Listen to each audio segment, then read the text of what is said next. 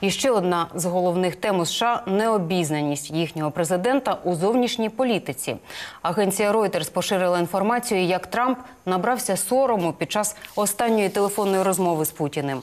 Виявилося, американський очільник не має уявлення про ледь не ключову безпекову угоду США.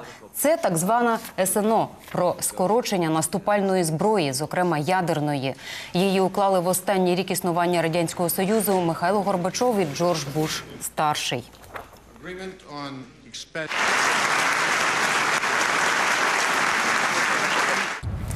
Так от після питання Путіна, чи продовжуватимуть дію договору, Трамп узяв паузу і підійшов до своїх радників, яким довелося пояснювати суть документа. А потім Трамп ще й розкриткував його, назвавши поганою оборудкою. Хоча Сполучені Штати завжди вважали цю угоду своїм дипломатичним досягненням.